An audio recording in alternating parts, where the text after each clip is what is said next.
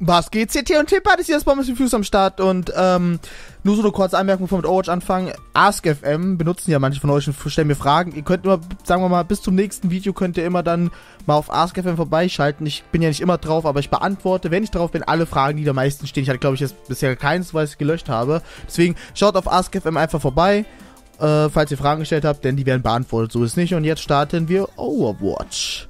Mal gucken, was wir kriegen bitte einer der neuen Maps. Ich hätte richtig Bock, mal so ein Overwatch-Fall auf Season zu haben oder so ein Kram.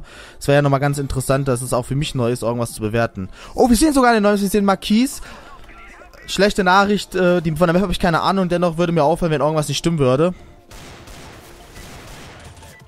Ja. Ich finde es auch schön, dass Marquise überhaupt gespielt wird. Äh, Wer das nicht gesehen hat, gibt da bitte auf Sparkles CSGO Channel, da gibt es einen geilen Ninja Diffuse, der ziemlich lustig ist. Also, ich finde lustig. Ich, ich werde mal irgendwann probieren, wenn ich die Map spiele. Ich habe es halt noch nie Matchmaking gespielt, ne? Ja. Okay. Ja. Ja.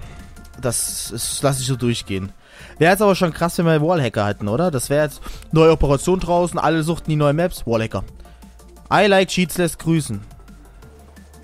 Nein! Er hat kein Wallhack. Nein. Wer, böse Zungen behaupten, er hätte einen Wallhack. Äh, okay. Ja. Ich, ich kann jetzt da drei. Wir könnten, wir könnten nur Witze drüber machen, aber nein, wir machen keine Witze über so etwas. Über sowas macht man keine Witze. Ja, das ist ernstzunehmendes Business hier. Mit Behinderung muss man umgehen. Ja, und diese Behinderung nennt sich Wallhack, beziehungsweise Hacker. Das ist eine der schlimmsten Behinderungen, die es gibt. Diese Menschen sind wirklich nicht lebensfähig und sind ständig bedroht von der Natur. Also es ist halt so, in der Nahrungskette, ja, ist einfach der Hacker ganz unten. Das ist halt so, wisst ihr das? Wenn das jetzt zu einer Nahrungskette, wenn man das als Nahrungskette jetzt berechnet, von unten gesehen Hacker, Heuschrecke und danach geht's weiter hoch. Die Heuschrecke ist also den Hacker. Hashtag Heuschrecke. Nein. Ähm, ich finde lustig, wenn ich immer was mit Hashtag sage, schreiben die Leute immer wirklich in Hashtag Heuschrecke oder sowas. Oder Hashtag Fledermausfunktion. Nein, wir schreiben jetzt hin, das ist das Hashtag für dieses Overwatch. Wir schreiben hin Hashtag Nein, ich überlege gerade. Hashtag Hackerschrecke. Hashtag Hackerschrecke schreiben wir hin, um, äh, um zu sagen, dass der Hacker unter der Heuschrecke steht. So. Ja, da wurde äh, Bego gespielt. Mal gucken, was unser Suspect macht. Ich meine, in der Aufwärmphase waren schon obvious Sachen da. Hm, ja, es ist halt obvious, tut mir leid. Er hat, er hat halt einen Wallhack. Das war vom Movement halt mehr als für Retro gerade schon ein Warmer war es komisch. Er hat halt auch den Fokus auf die Leute, ne? Was sagen die Sets von ihm? 1, 1, 1. Dreimal die 1 Illuminati confirmed. Ähm, weil Illuminati hat drei Seiten und 1 ist auch für ein Auge in Illuminati. Illuminati confirmed. Dö. Äh, nein, er hat kein Wallhack, deswegen deckt er auch einfach keiner B, eigentlich nur einer und der hat ausgeschlossen, aber er weiß trotzdem, wo. Er weiß, dass der da unten steht. Er, war, er, ist, er ist halt der Babo. Ja, er hat, er hat eine, er hat eine Position von den Fadenkreuz wie ein Lappen, ja, aber Wallhack laufen lassen. Ah, es ist unglaublich sowas, ey. Da, da war wieder dieser Punkt, das, das, das, das sind die Schlimmsten. Die stellen sich hin so, ach, ich hab doch keinen Wallhack. Ich hab keinen Wallhack. Ich bin total legit. Deswegen gucke ich jetzt auch gerade nicht durch die Wand den komplett an. Aber wenn, aber ich weiß, dass er rauskommt, deswegen kann ich schnell hinterher aimen. Weil man auch so sein eigenes Teammate guckt, weil man auch mit Recht, dass direkt einer hinter dem ist. Also, klar. Ist unglaublich. Der weiß auch schon wieder, dass es B wird. Er hat eben A gedeckt, jetzt hat er sich wieder für B entschieden. Gut, den hört man jetzt. Aber den lässt er wahrscheinlich links liegen. Lässt Lester. Ist ihm egal. Braucht er nicht. Guck, guck noch nach oben, was er macht. Ja. Ihr müsst ja wissen, wie sehen das in diesem X-Ray. Hacker haben so, so einen Kasten um die Leute drumherum. Und der hat den Kasten oben ganz leicht am Bildschirm gesehen und weiß doch die Position von dem oben. Ja,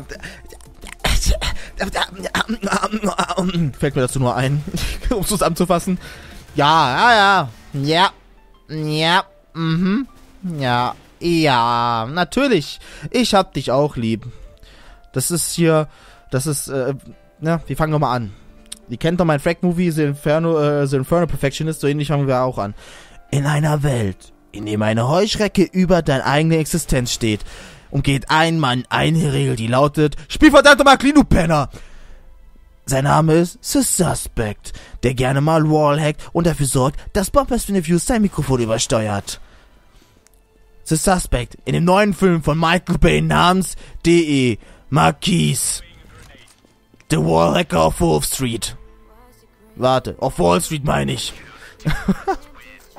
oh Mann, ist das dumm.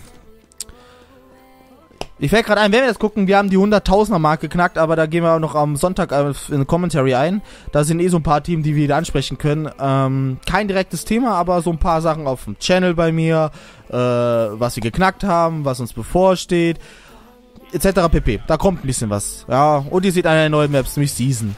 Weil da momentan läuft, da geht rein wie nix bei mir. Unglaublich.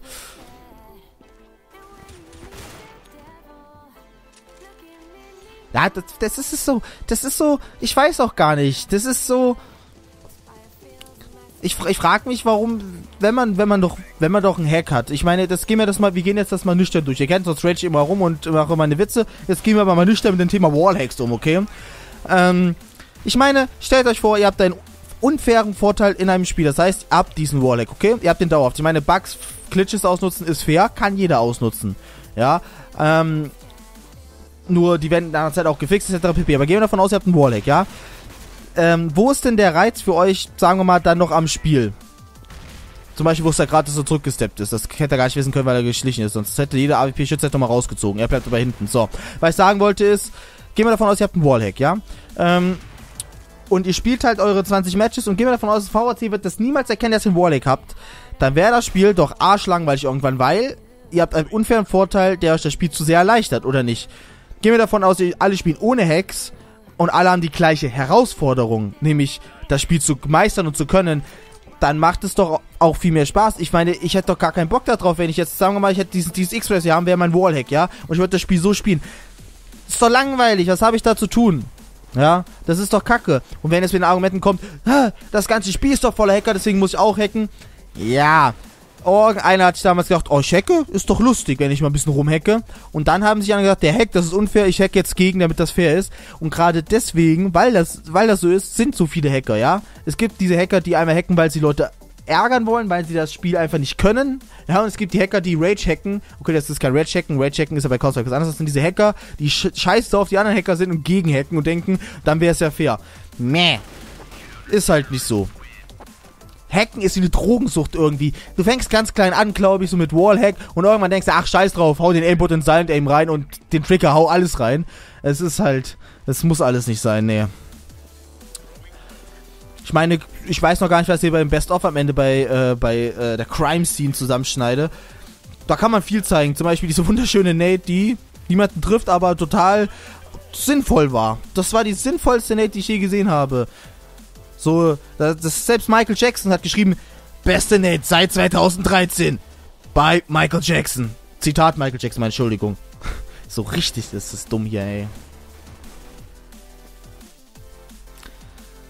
Das macht ja, das macht so, so macht CS nicht Spaß. Und dann halt auf diesen neuen Maps, das sind auch viele Leute. Ich meine, wenn man einen DE Inferno spielt, ein D das 2 und du spielst gegen einen Wallhacker, dann merkst du es halt auch. Aber auf D Marquis, weil die Map kaum noch einer kennt, kaum einer äh, gespielt hat, ich sage jetzt mal kaum in Anführungszeichen, es gibt bestimmt Leute, die sucht nur so eine Map durch oder diese Map durch. Die, die können halt nicht wissen, ja klar, der hat Warlock, die können denken, vielleicht hat er das gehört, vielleicht war es eine Ansage, sie können halt das nicht komplett einschätzen. Wir jetzt als Overwatcher können sofort sagen, oder ich kann sofort sagen, der hat an.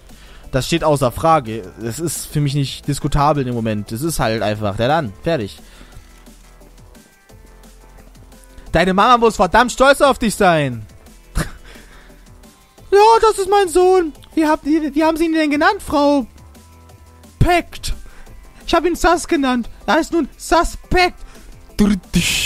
Und was macht der beruflich so? Ja, der ist professioneller Wallhacker und kann nicht springen. Ach, ist das so?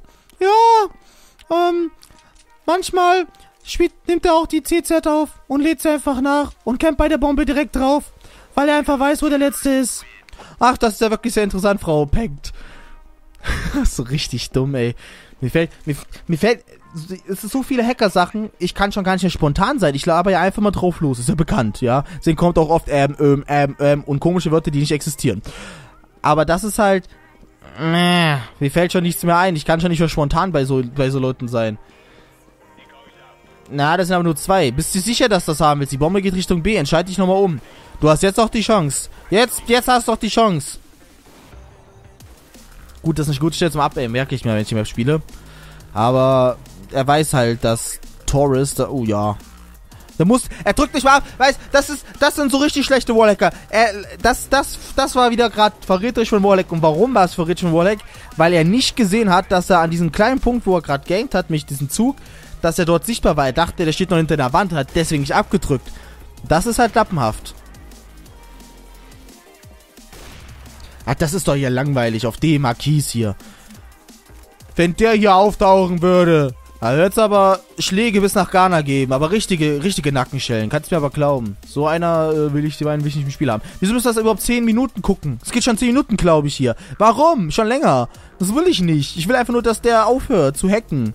Übrigens, äh, wenn wir schon dabei sind, Overwatch mache ich nur mit euch. Das heißt, ich habe bisher, na gut, außer ich habe mit dem ersten, also bevor ich mit dem ersten Overwatch angefangen habe, habe ich natürlich auch Overwatch alleine gemacht. Mittlerweile ist es so, dass ich nicht mehr Overwatch mache. Ich glaube, ich habe das sogar schon mal erzählt, ohne dass einer zuguckt. Das heißt, YouTube ähm, seht ihr jeden Overwatch-Fall oder ihr seht den ähm, auf Twitch, die Overwatch-Fälle. Obvious Klappe, die erste. Ja, da war kein Wallhack. Alles super clean, Jungs. Da war nichts. Das, das, das, das ist einfach magnetisches Fadenkreuz, ey, Jungs. Ganz einfach.